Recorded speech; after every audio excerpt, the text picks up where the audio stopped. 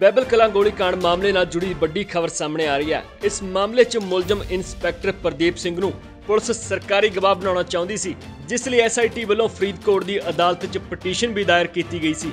ਤੇ ਇਸ ਮਾਮਲੇ ਦੇ ਵਿੱਚ ਪਟੀਸ਼ਨ ਤੇ ਸੁਣਵਾਈ ਹੋਈ ਤੇ ਮਾਣਯੋਗ ਅਦਾਲਤ ਨੇ ਇਸ ਪਟੀਸ਼ਨ ਤੇ ਆਪਣੀ ਸਹਿਮਤੀ ਦਿੰਦੇ ਹੋਏ ਇੰਸਪੈਕਟਰ ਪ੍ਰਦੀਪ ਸਿੰਘ ਨੂੰ ਵਾਅਦਾ ਮੁਆਫ ਗਵਾਹ ਬਣਾਉਣ ਦੀ ਇਜਾਜ਼ਤ ਦੇ ਦਿੱਤੀ ਹੈ। ਦੱਸ ਦਈਏ ਕਿ ਇਸ ਤੋਂ ਪਹਿਲਾਂ ਉਹ ਬੈਬਲ ਕਲਾਂ ਗੋਲੀकांड ਦੇ ਮੁੱਖ ਮੁਲਜ਼ਮਾਂ ਵਿੱਚੋਂ ਇੰਸਪੈਕਟਰ ਪ੍ਰਦੀਪ ਸਿੰਘ ਵੀ ਸ਼ਾਮਲ ਸੀ। ਸੋ ਅਦਾਲਤ ਵੱਲੋਂ ਪ੍ਰਦੀਪ ਸਿੰਘ ਨੂੰ ਗਵਾਹ ਬਣਾਉਣ ਦੀ ਇਜਾਜ਼ਤ ਦੇ ਦਿੱਤੀ, ਪਰ ਦੇਖਣ ਵਾਲੀ ਗੱਲ ਇਹ ਰਹੇਗੀ ਕਿ ਇਸ ਗਵਾਹ ਦੇ ਨਾਲ ਬੈਬਲ ਕਲਾਂ ਗੋਲੀकांड ਮਾਮਲੇ 'ਚ ਕੀ ਨਵਾਂ ਮੋੜ ਆਉਂਦਾ, ਕਿਉਂਕਿ ਲੰਬੇ ਸਮੇਂ ਤੋਂ ਇਹ ਮਾਮਲਾ ਲਟਕਦਾ ਆ ਰਿਹਾ ਤੇ ਸਿੱਖਾਂ ਦੇ ਜ਼ਖਮ ਹਾਲੇ ਵੀ ਅੱਲੇ ਨੇ। ਆਖੀਰ ਕਦੋਂ ਤੱਕ ਇਸ ਮਾਮਲੇ 'ਚ ਦੋਸ਼ੀ ਨੇ ਜੋ ਜੇਲ੍ਹ ਦੇ ਅੰਦਰ ਹੋਣਗੇ? Bureau report D5 channel Punjabi. E5 channel Punjabi ਹੁਣੇ ਸਬਸਕ੍ਰਾਈਬ ਕਰੋ ਬੈਲ ਆਈਕਨ ਤੇ ਕਲਿੱਕ ਕਰੋ